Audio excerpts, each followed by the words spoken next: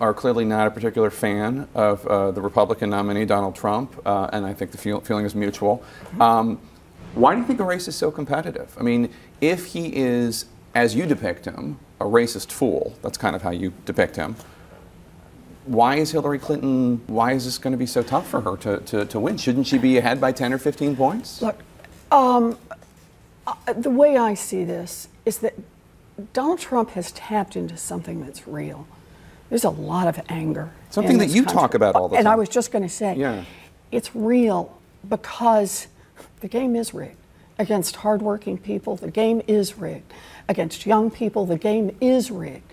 Against a lot of people who have done their dead level best, who've worked hard, who've played by the rules, and just see any chance at economic security way outside their reach.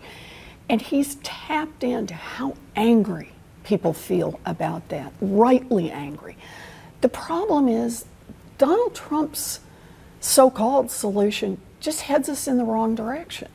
And, and so what we've got now is Donald Trump says, Yeah, I get that you're angry, and let me tell you what's wrong. It's them.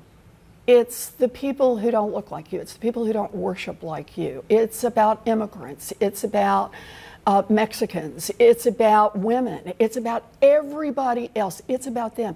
Donald Trump is about turning people against each other and telling America that's the way we're going to build a future. But he also blames trade deals, a lot of the trade deals that you have concerns about. But always look at then what is Donald Trump's solution to that? He's just not offering anything. He's, he's, he's, he's just empty at that end. He's got nothing to say. Here's how a plan. Here's how it is we build a future going forward. What he's got is a bunch of uh, secret ideas that he just doesn't want to have to tell the American people about.